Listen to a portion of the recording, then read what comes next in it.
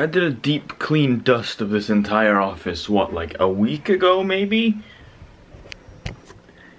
And yet, we've already got rings.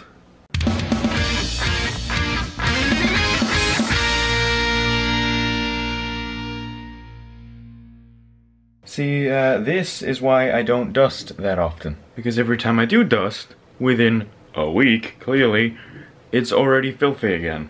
So, I just sort of don't see a point in it. Gross dust stuff aside, it's uh, it's now later, it's actually almost 11 p.m. and I'm going to bed real soon because I have work in the morning.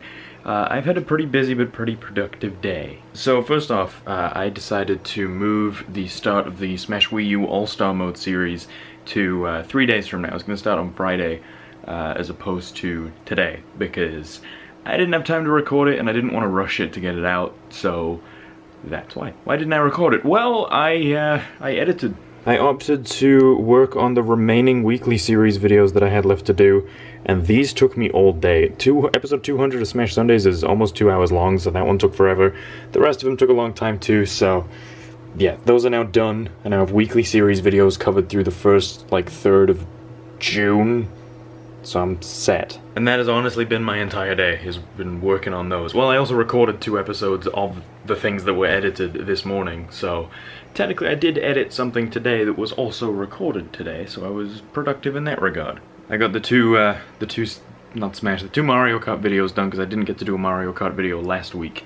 Uh, and I've also started scheduling recordings for next week, which will be the last recording session of the month, because I'm going to be not here, so I'm getting ahead, staying ahead, feeling productive, and uh, I'm glad that this is what I chose to do today. I've also started planning out some stuff right here. I'm taking two trips this year, and uh, that one's gonna take a lot more planning. Basically, I'm going to uh, EGX this year, or I'm hoping to. So, uh, and I'm hoping to take Steph as well. So, that's gonna require a lot of planning, a lot of money, because I'm also trying to go see my hometown when I'm there and uh, yeah, I figured I should start now because October, which is when I'm planning to go, is only five months away. Good lord. But as I just said to Steph, I don't want to start like over stressing myself out about all of this stuff right now because I of course all, I have other bills to pay. I got my car to pay off. Uh, and I'm also taking this trip in two weeks. So I would rather get that one knocked out first, and then I can put all my focus onto uh, well, the rest of the year. Because I've never really planned a big trip like this before. Well, I've planned one while other people have planned it for me, and then they and then it didn't happen. Uh, so I've never planned it all myself, and just had other people tag along with me. So I'm looking forward to it, but it's also pretty stressful. I haven't done a convention in the UK in six years, I think. EGX 2013 is the last one I went to. So I haven't seen a lot of my internet friends in that length of time. Seen a few of them, you know, Shaun, Isaac.